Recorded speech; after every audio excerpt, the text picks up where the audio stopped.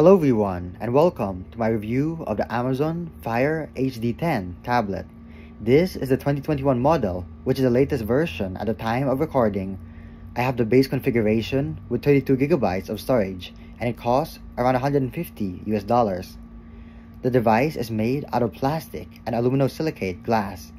It feels pretty solid in the hand and isn't too heavy at 456 grams. There's a 10.1 inch Full HD display with 224 pixels per inch.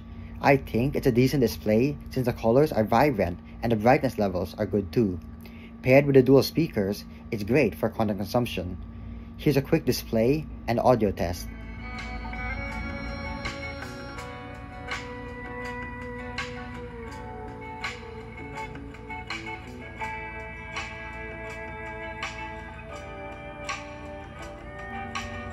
The tablet is powered by an octa-core processor with 3GB of RAM. I'll display the specs on the screen.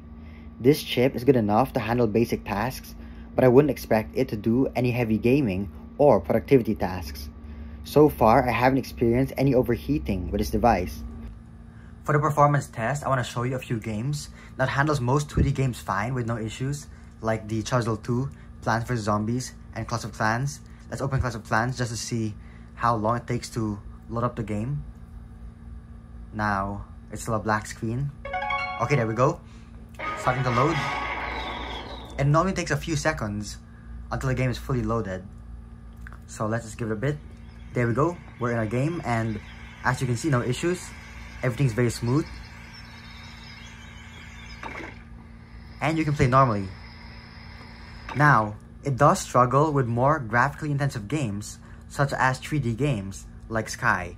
So let me show you what that looks like. But at this point, we're really pushing the tablet to its limit. Since it isn't designed for games like this. Now I want to show you what the performance looks like anyway. So you'll have an idea of what to expect. Technically, you can play Sky, but it's not going to be the smoothest experience. And I'll show you what I mean. Now if we go over to our menu on the top right, let's give it a while to load. Okay, we're in. If we go over to our menu, you'll see that we're on the lowest graphic settings now. So we have the energy saving mode. And even with the lowest graphic settings, it will still stutter here and there, as you just saw. So not for playing 3D games. I'd highly recommend getting a more powerful tablet but if you're into playing 2D games like Clash of Clans, maybe Terraria, Plants vs. Zombies, and other simple games, then this is great. Just don't try to play anything else like uh, Sky or maybe Genshin Impact. This is what the camera quality from the main sensor looks like. I'm going to take a photo over here and display it onto the screen so you can see it. Then let's flip it around and go to our front camera. Take another photo. There you go. Welcome to a video test on the Amazon Fire HD10. Now we're behind the scenes over here recording and as you can see, this is what the quality looks like. You're also hearing the audio from the microphone of the Fire HD10. This is a selfie video test on the Fire HD10 with a pretty low light situation since the curtains of my room are closed. But overall, I think it's doing a pretty good job and this is good enough for video calls. In terms of connectivity, it has Bluetooth 5, a headphone jack, and a USB Type-C port.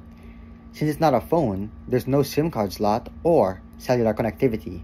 If you need to connect to the internet and don't have Wi-Fi around, you can connect your Fire tablet to your phone's hotspot or to a pocket Wi-Fi.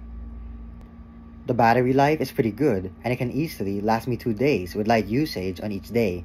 That includes watching videos on YouTube, using Google Photos, Google Maps, Google Keep, listening to music on Spotify, and listening using Google Podcasts with the built-in speakers. For the software, it runs on Amazon's Fire OS, which is based on Android.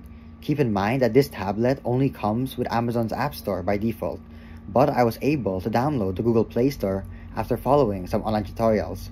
That allows me to download apps that aren't available on Amazon's App Store. I think the most useful software feature is Show Mode, which changes the interface so it's similar to an Echo Show, which is basically like Alexa with a display. Even if show mode is disabled, you can still access Alexa anytime and I find this really useful for controlling my lamp or asking questions. There are promotions slash ads on the lock screen, and there's a one-time fee if you want to disable them. Personally, I'm not too bothered by the advertisements since that's how they keep the price down, and the ads are well designed, plus they only appear on your lock screen.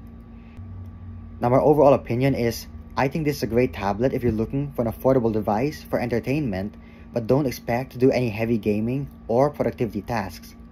Hopefully you enjoyed watching this video and found it useful. Feel free to leave a question, comment, or suggestion down below, and thanks for watching.